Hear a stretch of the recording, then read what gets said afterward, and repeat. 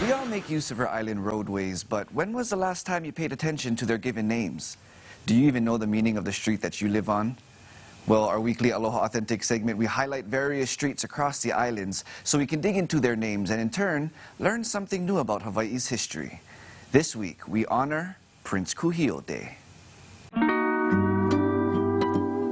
From the Ahupua'a of Kailua to the Ahupua'a of Waikiki here on Oahu stands a main highway named after Hawaii's royal, nicknamed Prince Cupid, and the Citizen Prince. We're talking about Kalanianaole Highway.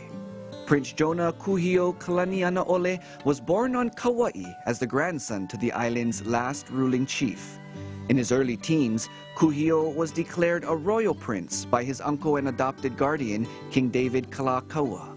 After the king's passing, his sister, Liliuokalani, ascended the throne and became queen. Prince Kuhio was next in line for succession, but because the queen's sovereignty was illegally overthrown, the royal prince never had the chance to continue the dynasty. He instead participated in a revolutionary movement to reinstate the monarchy. Unfortunately, it was unsuccessful. Kuhio was arrested, charged with treason, and imprisoned for a year. Following his release, the prince and his wife departed the islands on a self-imposed exile, vowing never to return to a Hawaii inhospitable to Hawaiians. After being persuaded to return home to step into American politics as a Republican candidate, Prince Kuhio became a U.S. congressman who served 10 consecutive terms until his passing.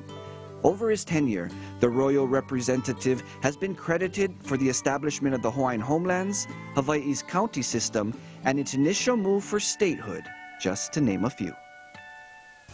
Did you know? Now you do.